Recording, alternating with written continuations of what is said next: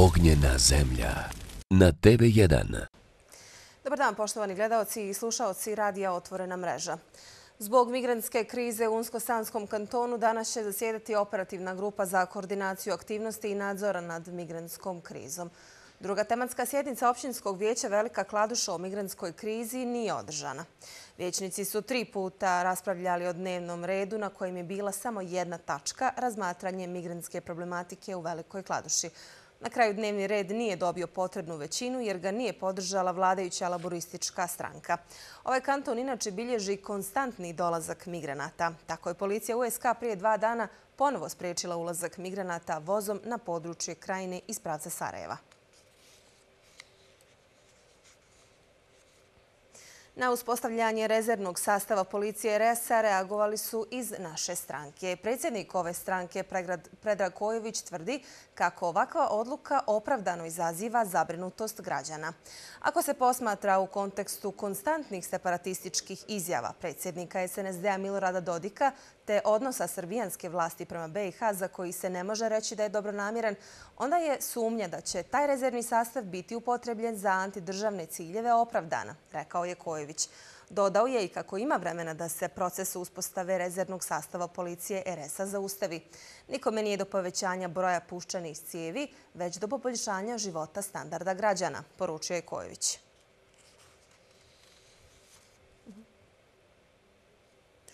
Na formiranje rezervnog sastava policije RS-a reagovao je i predsjedavajući Skupštine kantona Sarajevo i predsjednik Naroda i pravde Elmedin Konaković. U saopćenju javnosti on je pozvao sve probosanske snage na jedinstven i odlučan odgovor. Vojne i policijske snage u BiH, njihova brojnost i opremljenost nisu pitanje koje treba i smije rješavati jedan entitet samostalno. Pozivamo sve probosanske snage na jedinstven i odlučan odgovor, poručio je Konaković. Iz stranke Narodi pravda poručuju kako se stavljaju na raspolaganje svim probosanskim snagama, te da su spremni ukoliko izostane odgovor na višim nivoima zatražiti da kanton Sarajevo samostalno pripremi adekvatan odgovor na sigurnosni izazov nastao stvaranjem rezervnog sastava MUPA RS-a. Nakon što je jučer službeno predstavljen registar zaposlenih u javnom sektoru na području kantona Sarajevo, ako je izazvao veliko interesovanje javnosti, iz Ureda za borbu protiv korupcije kantona Sarajevo soopćili su kako su zabilježili nekoliko hakerskih napada na ovu web stranicu. Šef ureda Erdogan Kafedžić tvrdi kako stranica bilježi ogroman broj posjeta, ali i napada. Kafeđić ističe kako je nekome stalo da stranica ne radi. Na hakerske napade reagovao je i premijer kantona Sarajevo, Edin Forto.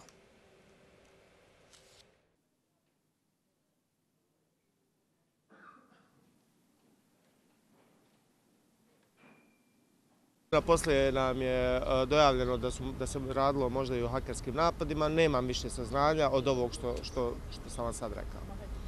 A nadam se da ćemo ih imati. Šta planirate poduzeti? Zaštitit ćemo strancu. Vlada kantona Sarajevo u saradnji s resornim ministarstvima i komunalnim preduzećima organizuje veliku akciju čišćenja kantona Sarajevo koja počinje sutra i trajaće dva mjeseca. Ovo je najobuhvatnija akcija čišćenja koja je pokrenuta u posljednje dvije decenije u glavnom gradu naše zemlje. Akcijom će iz baze službe za zapošljavanje kantona Sarajevo biti zaposleno 600 nezaposlenih osoba. Planirano je pranje fasada, čišćenje ulica, igrališta, parkova, mezarja, pranje rasvjete, a kupuju se i novi kontejneri. Vlada kantona Sarajevo poziva sve građane Sarajeva da se pridruže i da uz fotografije i adrese dojavljuju zapuštene lokacije. Mi ćemo kroz ovu dvomjesečnu akciju uh, spoznati obim problema zašto je ovaj grad prljav, koje su nadležnosti, ko je odgovoran. Mi ćemo to uh, sistemski uh, prikupiti, objaviti i pobrinuti se da nakon ove dvomjesečne akcije čišćenja polako sistemski uvodimo čistoću kao nešto što se podrazumijeva. Želimo da našoj djeci umjesto parkova smeća i trgova smeća ostavimo parkove cvijeća i trgove cvijeća. To je naš cilj. Osobe koje će raditi za, na ova dva mjeseca period bit će plaćeni neto platu 800 maraka, što znači da je vlada kantona Sarajevo u saradnji sa službom za pošaljanje kantona Sarajevo i resornim ministarstvom podigla to plaćanje. Prije bilo 600 korutnih maraka, sad je to 800 maraka. Predsjednik Srbije Aleksandar Vučić za danas je najavio najveći miting tokom kampanje Budućnost Srbije, a podrška na Beogradskoj pozornici u 18 sati bit će mu i predsjedavajući predsjedništva naše zemlje Milorad Dodik. Lider Srbije najavio je kako očekuje veliki broj ljudi na skupu ispred Doma Narodne skupštine Srbije.